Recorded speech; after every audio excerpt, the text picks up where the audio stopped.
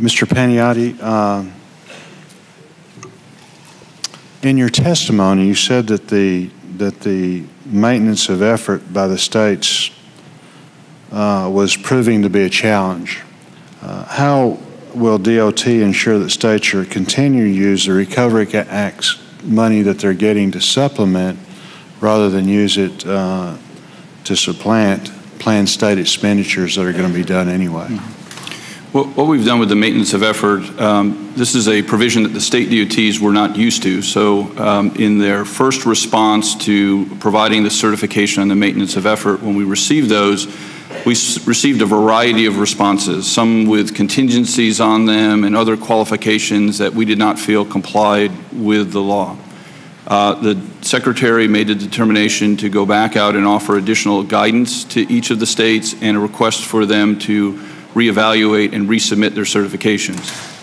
We received um, conforming certifications back uh, from all but one state, and um, just recently we issued guidance to our state divisions to go and sit down with each of the state DOTs to review with the state how they computed the numbers that are in the certification to make sure we're comfortable with the computation uh, we will be getting uh, regular reports from each state on the maintenance of effort as the time goes by.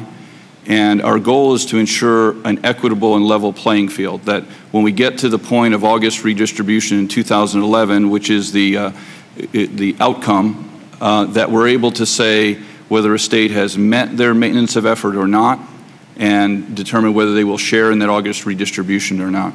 Very good.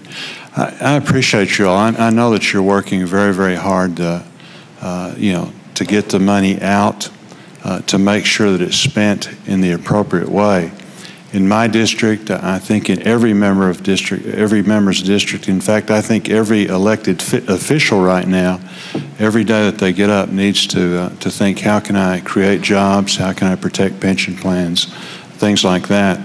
Uh, in the commission that was done, uh, where people work so hard, the challenge was, you know, they, they told us that the average road project was eight to 10 years, you know, something like that. So uh, I know that it's a tremendous challenge.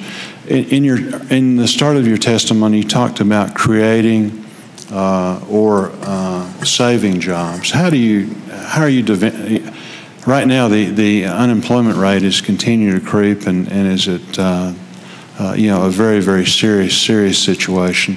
How do you differentiate? How are you, what is creating or saving mean? Right now, our focus is just on getting people to work without, without really focusing on the differentiation. We're really focused on how many people are at work on federal aid highway projects. And so our, our, our most recent information, which was through May, indicated that in May we had 6,000 full-time equivalent jobs underway. That represented a 400% increase over the data from March and April. And these are good paying jobs, $35 an hour average wage as compared to $15.50 in the general economy.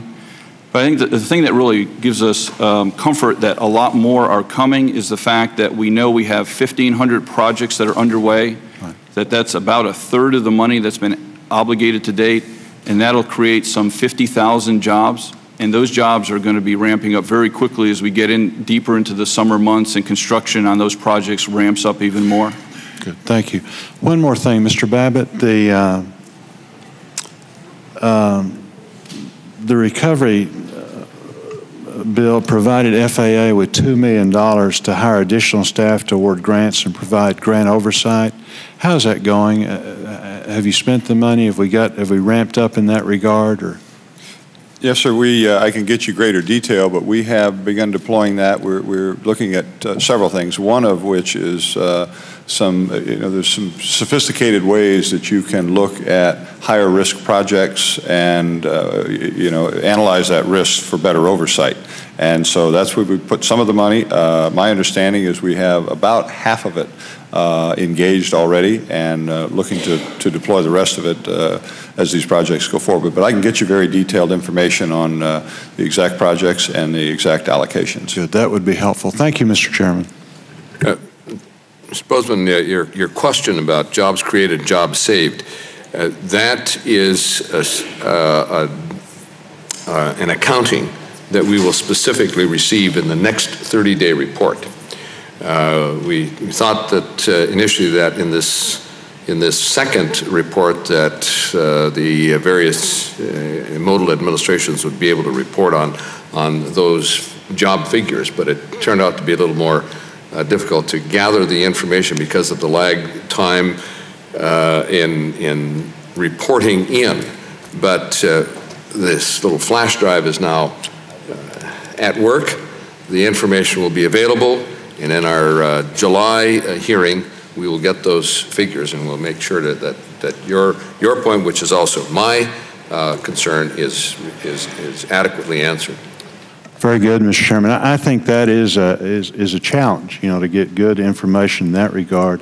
And then the other challenge is, as I ask, to make sure that the, the projects that are being done are not projects that would have already been slated to get done, but are additional projects. Uh, The Recovery uh, Act language from our committee was very specific, that the uh, Recovery Act funds, which are 100% funding, should be in addition to the program of projects the states had committed to undertake uh, prior to enactment of the Recovery Act.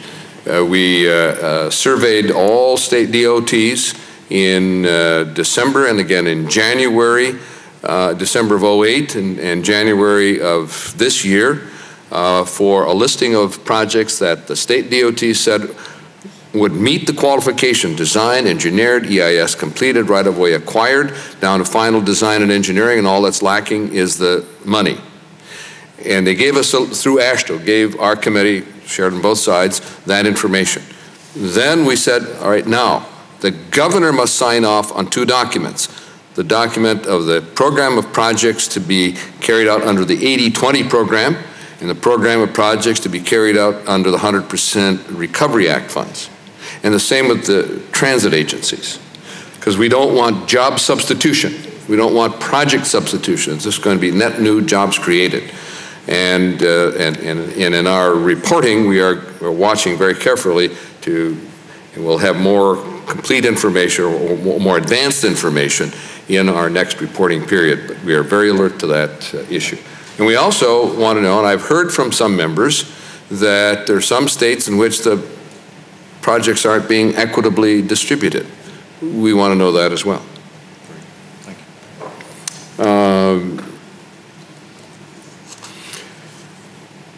Mr. Michaud, Mr.